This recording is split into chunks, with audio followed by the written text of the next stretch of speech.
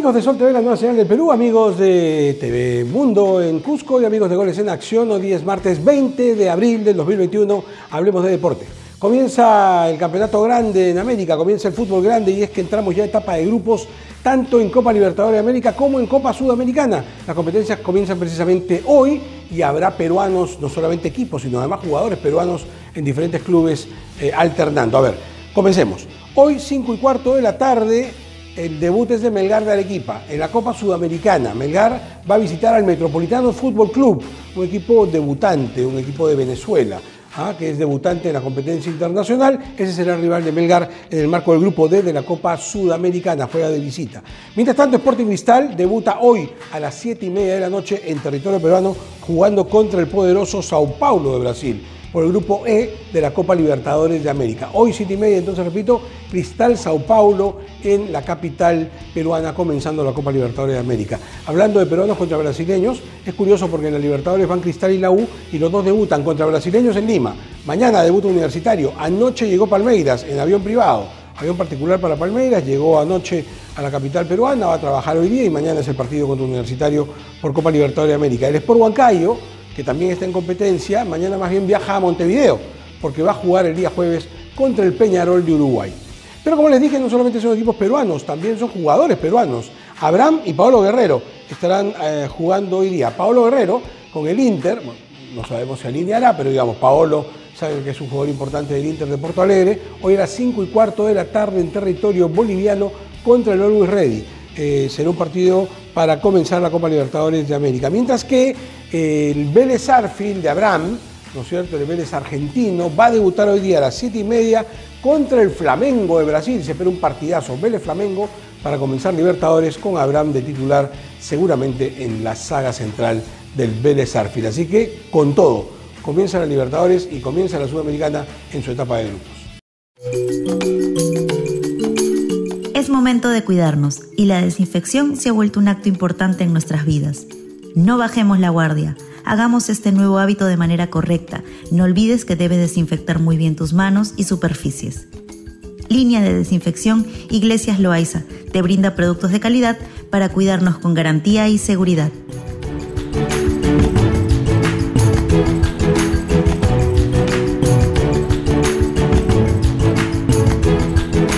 Ricardo Gareca realizó una serie de declaraciones que han dado que hablar. Dentro de lo más saltante es que ha dicho que el 27, es decir, en una semana más o menos, tiene que presentar la lista de 50 jugadores, una suerte de prelista sobre los cuales va a hacer las convocatorias para la próxima Copa América. Y ha anunciado que en esa lista de 50 estará Santiago Ormeño, el delantero peruano-mexicano que juega por el Puebla de México, del que se ha hablado mucho, se habló que los seleccionaban en México, se habló que los seleccionaban en Perú. La verdad que hace un año vienen hablando todos de Ormeño, pero nadie lo convoca.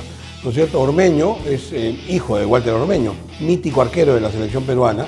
Eh, es mitad mexicano, mitad peruano. Él es de padre peruano, pero de madre mexicana. Vive en México y juega por el Puebla. Es actualmente goleador del campeonato mexicano. Bueno, uno de los goleadores. Tiene nueve goles en 15 fechas.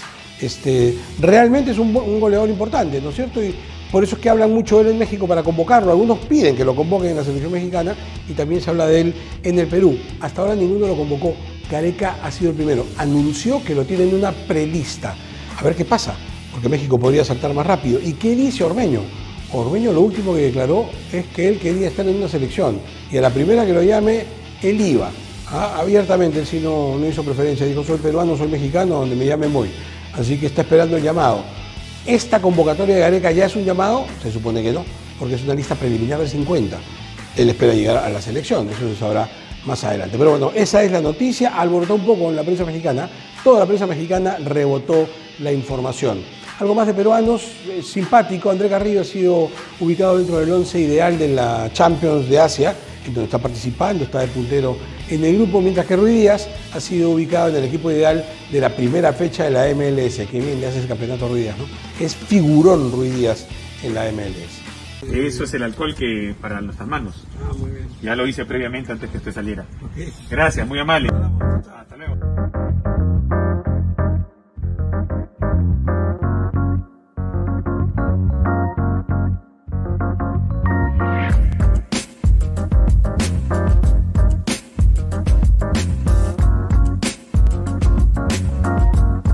Inevitable hablar del tema de moda, la Superliga Europea.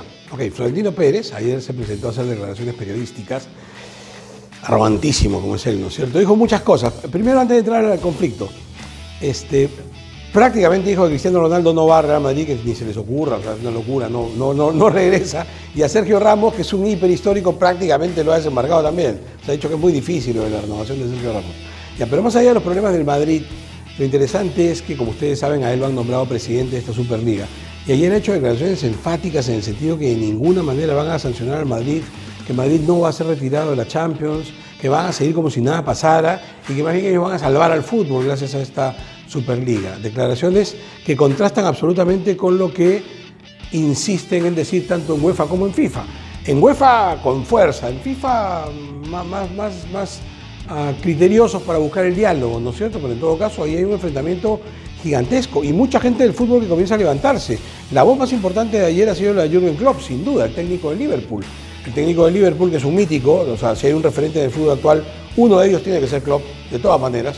Klopp ha dicho que él está en contra de esta Superliga, que él además no le avisaron. Esto en referencia a que Liverpool es un equipo de la Superliga, ¿no? Entonces dice, a mí nadie me consultó, pero ahora que yo me entero, declaro abiertamente que no estoy de acuerdo. Klopp seguramente además uniéndose a esta corriente que está a favor del fútbol para todos, ¿no? De no cerrarlo a cuatro o cinco poderosos y los demás que miren. Eh, al contrario, Klopp creo que va a dar una batalla al lado de muchos, ¿no es cierto?, que están al lado del fútbol. Al lado del fútbol tal como lo conocemos hoy, que debe tener muchos problemas sin duda, pero como dice la propia FIFA, en un afán conciliador con la gente de la Superliga, a conversar. Si hay cosas que arreglar, arreglémosla pero esta ruptura le hace mal a todos, ¿no es cierto? O sea, definitivamente si esto de la Superliga Liga, perdón, prospera, el futuro yo no lo veo auspicioso. O sea, las ligas nacionales decrecerían, las internacionales también, el mundial caería. O sea, yo creo que se viene una época fea para el fútbol. Ojalá que lleguemos a una solución pronta. Contabilidad Financiera es una consultora que brinda servicios de outsourcing contable, tributarios y de planilla somos profesionales con más de 15 años de experiencia en el mercado. Somos contabilidad financiera y buscamos la mejora continua de su negocio. Que me dicen, ¿y qué tendría de mal una Superliga, los mejores equipos del mundo? ¡Wow! Esto no es un campeonato pues, de videojuego, es la realidad. Y aunque podría darnos algunos partidos muy atractivos, dicen que hasta la belleza cansa. O sea, eso de que jueguen siempre los mismos entre sí. Sería como que acá en el Perú, que, que me disculpe el resto, Universitario, Alianza Lima y Sporting Cristal decían hacer un triangular y los demás no, pues porque ellos son, digamos, los equipos con más currículos, los más importantes, los más poderosos, entre ellos no más juegan. No, no, bueno, es lo mismo, es lo mismo. Y lo que hay que preservar son los espíritus, es el espíritu inicial del fútbol. Eh, ese que le permite, ¿saben qué es lo maravilloso del fútbol? Para mí por lo menos, ¿no? ¿Qué es lo extraordinario del fútbol? Que en el fútbol todos somos iguales, en una cancha de fútbol todos somos iguales que cualquiera puede ganar, que el más malo puede ganarle al más bueno en un día inspirado. Eso es lo maravilloso del fútbol. No le quiten a los chicos la oportunidad de competir de igual igual y de alcanzar la gloria. Eso es lo que buscaría esta Superliga. Por eso yo sí me declaro abiertamente en contra, más allá de algunas ideas. Bueno, pero cambiamos el tema porque ya tenemos que despedirnos solamente para enviar un saludo muy grande a los pesistas peruanos que están en Santo Domingo, es el Campeonato Panamericano de Mayores de Levantamiento de Pesas, que es muy importante porque da puntos oficiales para clasificar a Tokio hay pesistas nuestros que están tratando de llegar a los Juegos Olímpicos.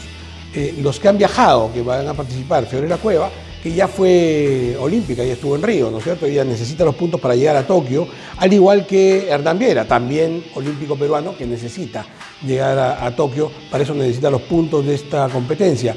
Hay dos pesistas más que no han estado en los Juegos Olímpicos de Río y que aspiran a llegar a Tokio, que son Shelly Meo y David Bardales. Y también estarán en la competencia Estrella Saldarreaga, esta tremenda figura juvenil del levantamiento de pesas del Perú, que tiene un futuro gigantesco. O sea, puede ser una de las chicas de mayor proyección en el deporte peruano. Va a estar participando ahí al lado de Oscar Terrones. En fin, a la distancia, suerte a nuestros pesistas. Y con ustedes hasta mañana, por cortesía de Iglesias Loaiza, este maravilloso producto que cuida nuestra salud precisamente en esta etapa de prevención. Ya les he dicho yo, el alcohol gel es de lo mejor. Gracias también al restaurante Osu y su exquisita comida fusión que está o en el local de Surco o en su casa, al delivery. Y también, por supuesto, contabilidad financiera que nos arregla los asuntos contables tan importantes en este momento de reactivación económica. Con ellos volvemos mañana para seguir hablando de deporte.